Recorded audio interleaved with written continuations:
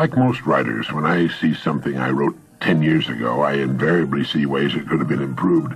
I didn't see those possibilities ten years ago, but it's easier to see them today. It means I've grown as a writer, that I'm better, that I'm a more effective writer today than I was ten years ago. I'm worth more today, and if I continue as I have been doing, I'll be much better and worth a lot more ten years from now. Before the atomic age, chemistry professors used to say that a person's worth, from a strictly chemical standpoint, was about $32 on the going market. In recent years, this view has undergone a startling change.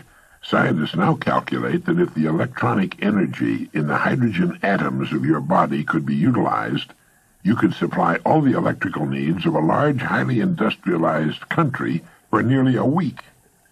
A DuPont scientist said that the atoms of your body contain a potential energy of more than 11 million kilowatt hours per pound.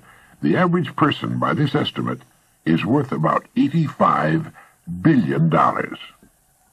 Moreover, the electrons in the atoms of your body are not just particles of matter, they're waves of living energy, and these waves ripple out and spread themselves in patterns of light, and as they move, they sing. If you had the proper hearing aid, you could hear a great flow merging with the waves of neighboring atoms, and they not only sing, they shine. If you stand in front of an infrared television camera in a completely dark room, the screen will show you from top to toe as a glistening, radiating, gleaming form.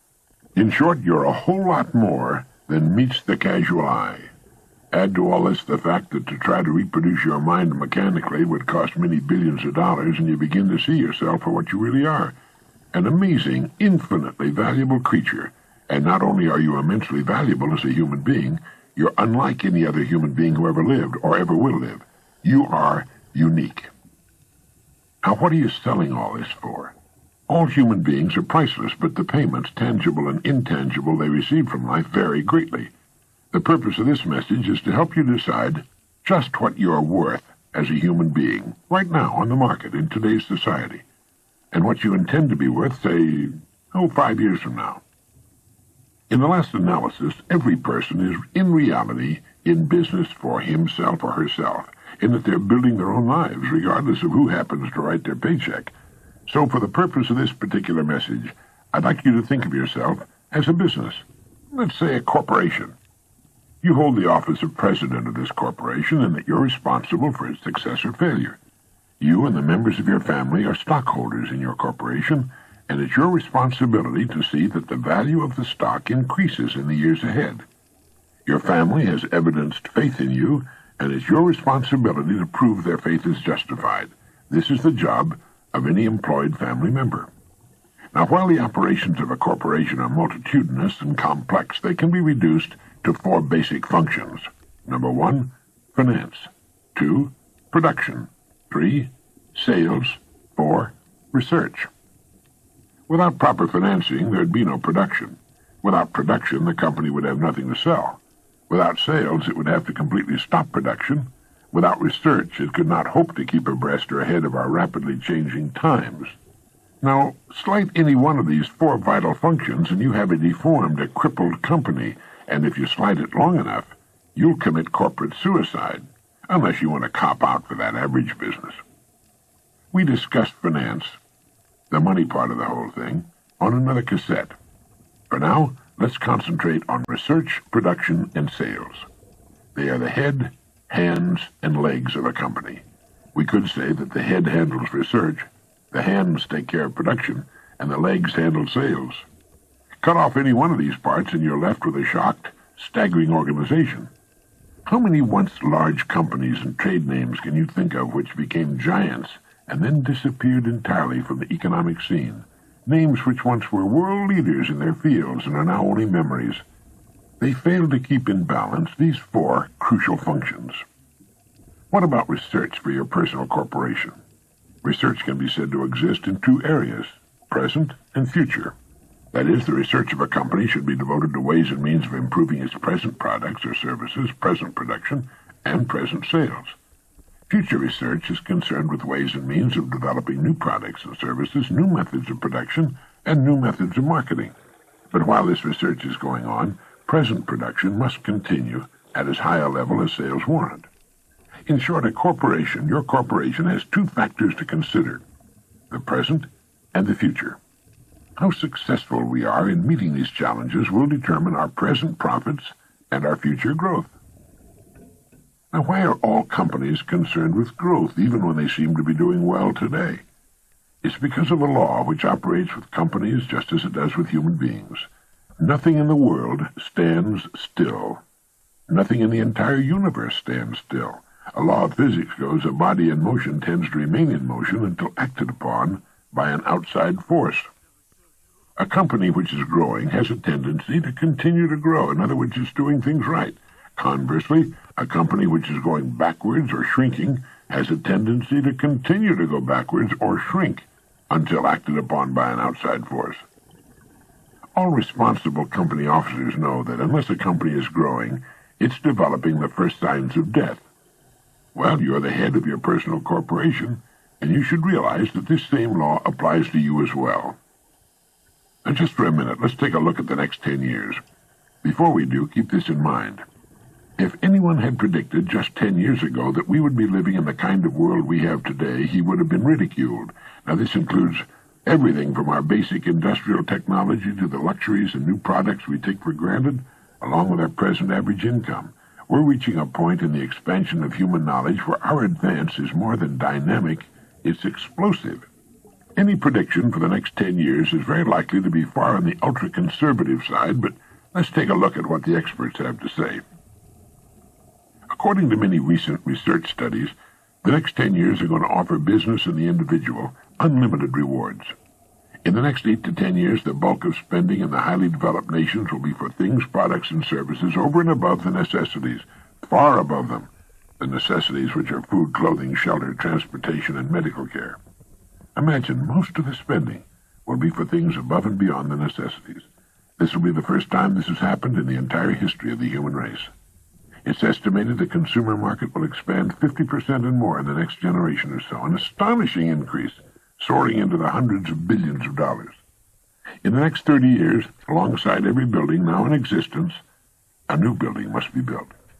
And what about research and development, which is the future of our economy?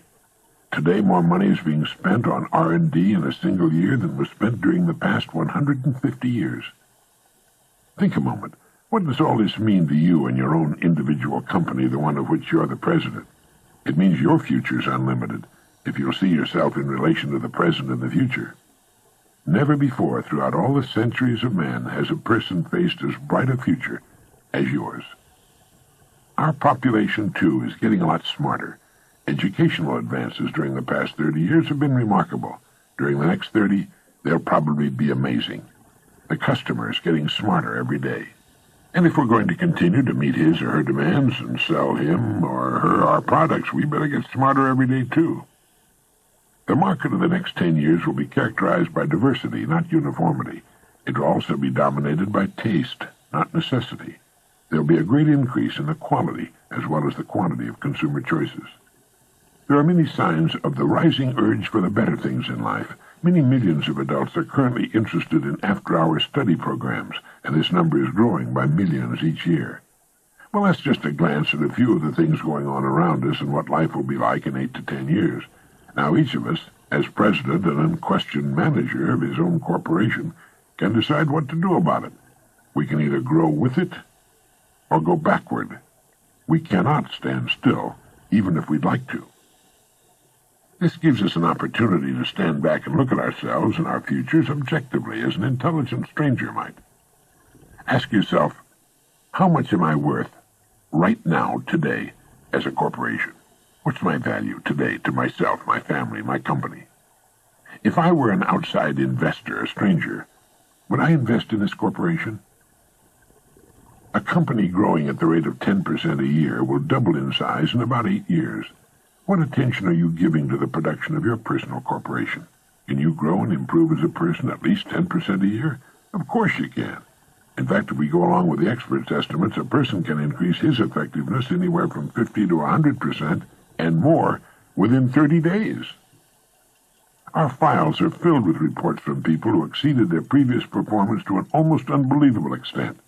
people in management and in production who multiplied their effectiveness many times, students who moved from failing grades to straight A's in the dean's list, people in sales who found they could, through the proper management of their abilities, minds, and time, sell as much of their company's products in a single month as they had previously sold in an entire year. Think what that means. It means being 12 times as effective as a human being. And getting back to the law of cause and effect, it means putting out 12 times as much service, which must and will guarantee our receiving eventually 12 times the reward we formerly knew. 12 times the reward. Remember, please, if we do twice as much, we have to receive twice as much, and nothing on earth can keep it from us. And the same thing applies if we triple our effectiveness. You and I know this, everyone should know it, but remember that fully 95% of the people do not know this. Think of the advantage this gives us. It isn't that we want to take advantage of anyone, and we're not, but it dramatically demonstrates the truth of the saying, knowledge is power. You'd be amazed by the great numbers of people who stop learning when school is over. Aside from company manuals and such internal literature, they read very little of anything of real value. The introduction to recorded learning, pioneered by this company, has made substantial gains and is growing rapidly, but as yet has only scratched the surface. An ongoing education is vital if we're to stay vital. There's so much to learn, and our school curriculum touched only a fraction of it. One of the most important subjects is getting along with people. We can only do things, we can only win through people, and that subject isn't taught at all in school. The great ideas we're talking about in this program are seldom taught in the home and almost never in school. Go through our catalog of programs carefully, and one by one you can maintain an effective ongoing education program for many years to come. It's true. Knowledge is power. What's more, Knowledge shows on our faces, and it's apparent in our speech. It helps us raise our children, get along better with our neighbors and fellow workers. Above all, perhaps, it's the greatest motivator in the world. As we learn, our horizons recede. We realize there's more to do and more time in which to do it. Old myths about getting out of action at age 65 disappear, and we realize that as long as we're learning and teaching and growing, it need never stop and we become more effective with the passage of time. Tomorrow is a brand new day, the great equalizer, no more no less than anyone else on earth can have. Right now, begin to think of ways in which you can begin to increase your effectiveness, raise your production, knowing that by so doing you're automatically presetting your rewards. Each day that comes to you, beginning with tomorrow, offers you a clean, brand new page on which to write the story of your life. Forget the past. It's gone. Don't concern yourself with the opportunities you may have missed in the past. This is true of everyone. But reach out and take each new day as it comes, and ask yourself, how can I best use this day? You know we're going to run out of them eventually. If we waste an hour of productive time every day, it adds up to about 250 hours a year that our corporation, our plant is shut down. We can earn nothing with the doors closed. What is your time worth an hour? Multiply this by 250 and you can see what you're throwing away. Now, whether your employer pays for this wasted hour or not is unimportant. Life will not pay for it. Learn to enjoy every minute of your life. Be happy now. Don't wait for something outside of yourself to make you happy in the future. As my good friend Wally Amos of Famous Amos Chocolate Cookies says, happiness is an inside job. Think how really precious is the time you have to spend, whether it's at work or with your family. Every minute should be enjoyed, savored. A human life is really nothing more than a collection of minutes, hours, and days. These are the building materials, and it's left strictly up to us to determine the kind and size structure we build. You see, a person has a tremendous advantage over even the largest corporation. Think of any large multinational corporation. Can it double its production in a single day? Of course not. Can it double its sales in a single day? Of course not. It would like to, but its growth must be a gradual, steady thing because of the interconnecting complexities of operating so large an organization. Yet a person can double, triple, quadruple his effectiveness in a month or less.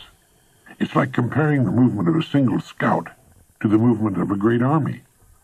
How have you been handling the four vital functions of your business. Finance, production, sales, research. How much time and effort are you giving to finance, to research, to the study of your work, your career? Can this be improved? What about production? Is there a way in which you can vastly improve the way in which you conduct your work? And sales, how can that be improved? Sales is more than selling a product or service. It's the way in which we sell ourselves to everyone with whom we come in contact. It's the way we get along with our associates, our spouses, our kids, our neighbors.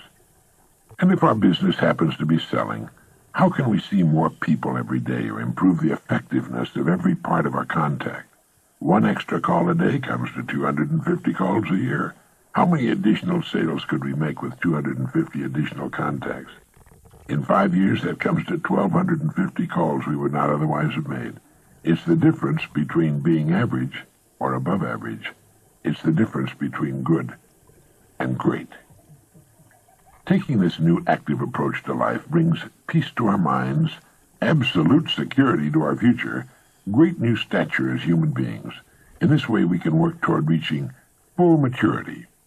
With this attitude toward life, we need never for a moment concern ourselves with its outcome. It will begin to become successful tomorrow, and it will pour abundance upon us for the rest of our years.